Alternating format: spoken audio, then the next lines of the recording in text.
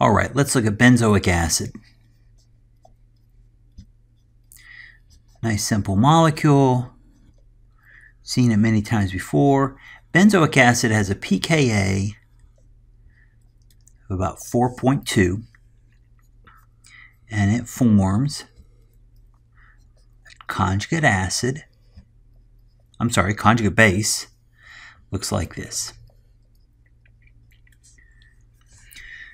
So now let's change this a little bit and look at a substituted benzoic acid. So this is 4-chloro benzoic acid. And as it turns out, 4-chlorobenzoic acid has a pKa right about 4.0. So 4-chlorobenzoic acid is a stronger acid. Stronger than what? Stronger than benzoic acid up here with a pKa of 4.2. So what this tells us is that there's only one change in this molecule, and it's all about this chlorine atom. Something about this chlorine atom is making this molecule a slightly stronger acid, which means that something about that chlorine atom must be affecting the negative charge of our carboxylate. Now, there are two factors that we're going to use to try to explain this, and the first is going to be resonance. Resonance almost always pops up in some form when we talk about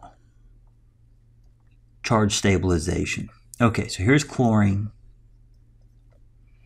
And there's our carboxylate over here. So how could this chlorine be interacting with this carboxylate all the way on the right-hand side of the molecule from the left-hand side where the chlorine is? Well, this chlorine has lone pairs. It's next to, it's next to itself, next to uh, pi bonds.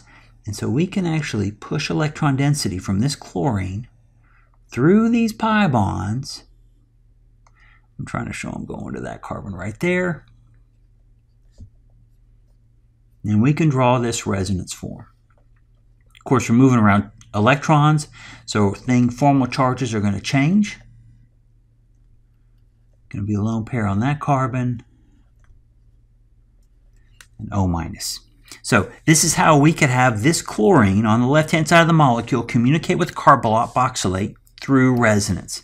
Now, there's another way that chlorine often interacts with charge, and that's by, now let's try this again, induction. So what would that look like? Well, let's redraw our structure.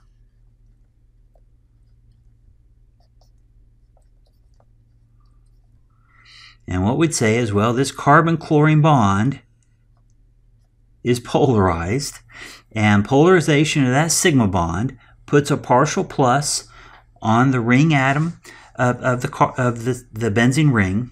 And that partial positive actually translates to a weak partial positive charge over here next to the carboxylate. And so this would be trying to invoke an inductive effect. This inductive effect, where you have a partial plus in proximity to that negative charge, this should have a stabilizing effect. In contrast, when we start pumping electron density from the chlorine over towards where there's already a negative charge, this is destabilizing. Okay, well, which one is consistent with what we're observing experimentally? Over here on the left-hand side of the page, we see that 4-chlorobenzoic acid is a stronger acid. So a stronger acid means that we are more readily forming the conjugate base. So the conjugate, conjugate base is being made more stable or a weaker base.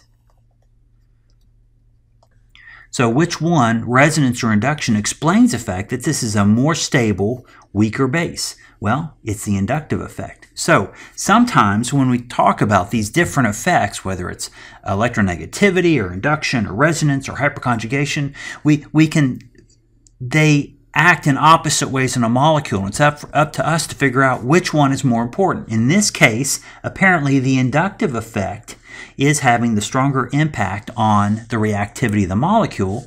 That doesn't mean resonance isn't happening, but resonance is not as strong as induction in this case.